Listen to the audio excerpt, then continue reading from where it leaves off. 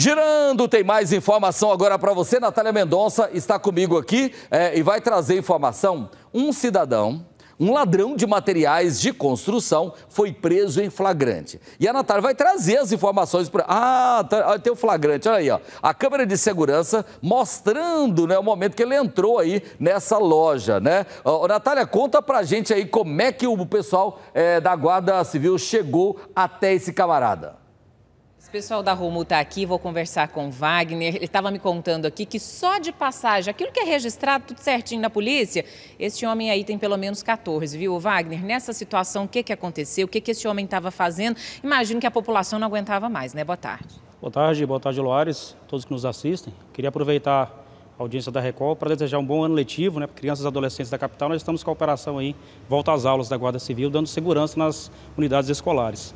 Nessa situação em específico, esse indivíduo aí tem passagens criminais pelo crime de furto desde 2007, Aloares. Se fosse uma questão de contribuir pelo INSS aí, estava quase aposentando no crime, pelos mesmos crimes.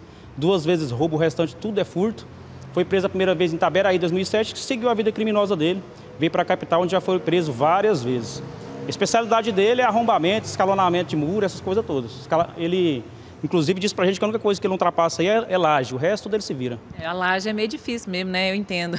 Agora, escalonar muro, pular ali, é para roubar mesmo. E a preferência dele é por, por, por, eh, local de obra ali, que às vezes fica um material de obra que é mais caro, enfim, aqueles equipamentos que o pessoal costuma usar para trabalhar, e aí o serviço dele é levar isso embora. Sim, só nessas imagens que são mostradas aí das câmeras de segurança, ele deu um prejuízo de 20 mil, um pouco mais de 20 mil reais para a empresa, vendeu esses materiais por 100 reais passou para um receptador, na verdade um intermediário, não foi para o receptador diretamente falando.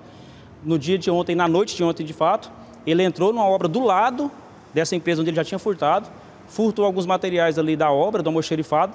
Quando ele foi sair, o vigilante da obra percebeu a saída dele, correu atrás, conseguiu pegá-lo, entrou em contato com a Romu, que chegou rapidamente e efetuou a prisão. Esse local onde tudo aconteceu fica perto de um grande frigorífico ali, né? O pessoal imagina que não aguentava mais. Tanto é que o próprio pessoal foi quem correu atrás dele para prender, para pegar e aguardar a chegada de vocês. Ah, o povo perde a paciência, né? Ninguém aguenta mais isso, não.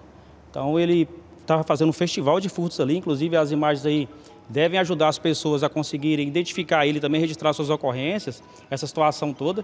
É, várias pessoas já reclamando, são furta residências, estabelecimentos comerciais, é o que ele faz, de ofício geralmente, é isso que ele tem feito. A gente está vendo as imagens aí, vou pedir para o pessoal colocar em tela cheia como é que ele agia ali nessa situação. Chegava, conseguia abrir a porta do estabelecimento ali, pulava o muro e tudo mais, e entrava no local e fazia um limpa. Tem como colocar a imagem em tela cheia, será, por favor? Para o pessoal de casa conseguir observar melhor como é que ele agia. E ele ia sempre sozinho, contava com a ajuda de algum comparsa, como é que ele costumava agir? Não, a, a, atuação dele é solo. Ele disse que não gosta de trabalhar com ninguém não, porque tem muito dedo duro na rua. Então, tá, conversa dele, dá descrença, da cara de pau. E o estilo de vida dele, hein, Wagner? Porque geralmente a gente olha assim, a gente imagina usuário de droga, mora sozinho, enfim, o que, que vocês já sabem da vida dele? Olha, ele é um cara realmente que usa drogas, isso é fato. É, rouba para isso? Rouba para isso, furta para isso. Principalmente o furto, né? Que ele já entende legislação também, ele sabe que não tem perigo de violência, ele sai mais fácil. Inteligentíssimo. Você conversa com um cara, você te dá uma aula de direito. Entende muito bem o que está fazendo mora com a mãe dele, e aí fica aí pela rua, principalmente à noite. De dia ele descansa, aproveita o que ele aproveitou aí durante o, o serviço dele, né? O trabalho dele de ser ladrão.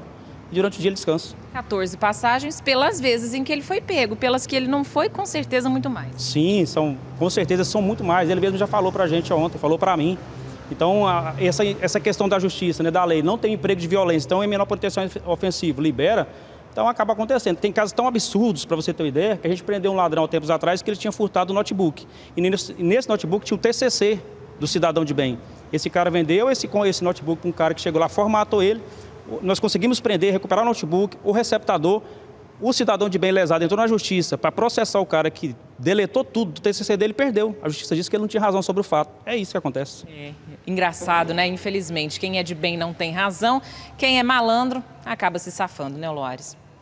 14 passagens pela polícia. Eu, é, a justiça está precisando de começar a analisar o conjunto da obra, se é que a gente pode falar isso, né? Se é que a gente pode falar isso, analisar o conjunto da obra. Um camarada como esse aí, tá, ele foi lá, furtou uma televisão, é considerado um crime de menor potencial ofensivo, mas ele já tem 14 passagens pela polícia, ou seja, já é um ladrão profissional, já é um criminoso profissional. Então, levando em consideração o comportamento dele, deveria apodrecer na cadeia. Mas não, analisa caso isolado. Aí ele sai daqui, dois, três dias está aqui a equipe da Romu de novo fazendo o mesmo serviço. Então o problema do Brasil não é falta de polícia, não é, não é de polícia, não é de guarda uh, no Brasil, não, amigo. O problema no Brasil está esbarrando no poder judiciário. O poder judiciário é que acaba, é, infelizmente, é fazendo o lado ruim da segurança pública. Por que, que eu falo isso? A polícia prende muito. A polícia, né, seja ela polícia civil, militar ou a guarda, já fez 14 14 vezes o serviço de prender esse camarada, mas lá na justiça ele solta. Ah, Loares, mas o, ju, o juiz, ele solta de acordo com a lei. Não, meu, lei é interpretação.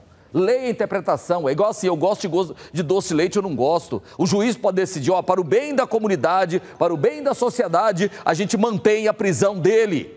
Ninguém iria contestar isso. Não, como foi um crime pequeno, é, coloque em liberdade. Cabe, se o juiz quiser, se a juíza quiser, pode sim colocar um camarada desse na cadeia por muito tempo pelo conjunto da obra dele. Obrigado, Natália. Parabéns o pessoal da Robu mais uma vez. Então a gente precisa de começar a cutucar mais o judiciário. Juiz não é Deus, juiz não é o dono da verdade, juiz não é o rei de tudo. É um servidor público que está ali para aplicar a lei. E nesse caso, a lei está sendo aplicada em favor de quem? É a pergunta.